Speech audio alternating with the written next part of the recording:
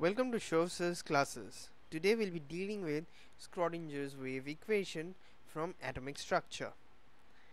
Let us begin with our course.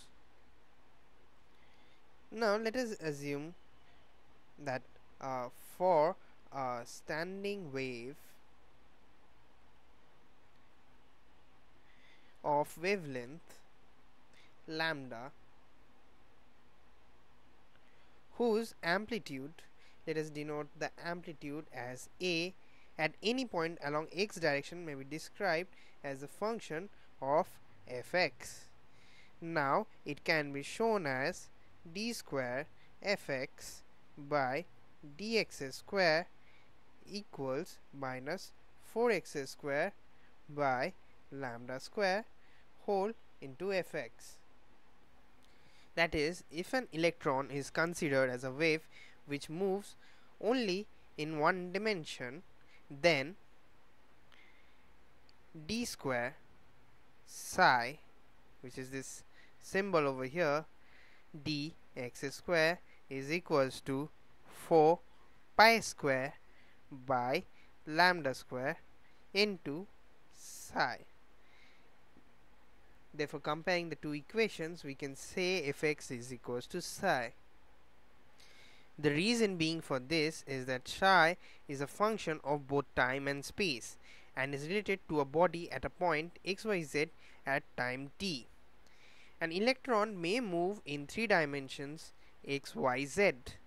So above equation becomes del square psi by dx square plus del square psi by dy square plus del square psi whole divided by dz square which equals to 4 pi square by lambda square psi. Using the symbol now we'll be using the symbol nabla instead of the three partial differentiation and thus this whole equation can be written as nabla square psi equals to minus 4 pi square by lambda square psi. This is called the de Broglie's relationship or rather from the de Broglie's relationship which states that lambda equals to h by mv where this h is nothing but the Planck's constant and m is mass and v is the velocity. Hence we can see that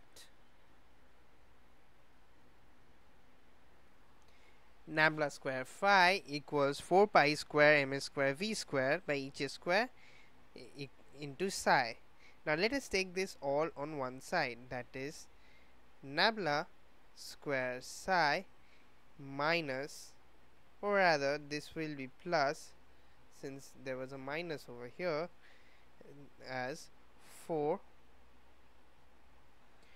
4 pi square m square v square h square that is the whole above term equals to 0 now we'll be using the kinetic and potential energy to make this equation into something more relatable. From the relation E equals to k plus V that is energy equals to kinetic plus potential we can write kinetic energy is nothing but the total energy minus the potential energy. But k is also written as half mv square. Now half mv square is equals to e minus v. Therefore small v square is equals to 2 by m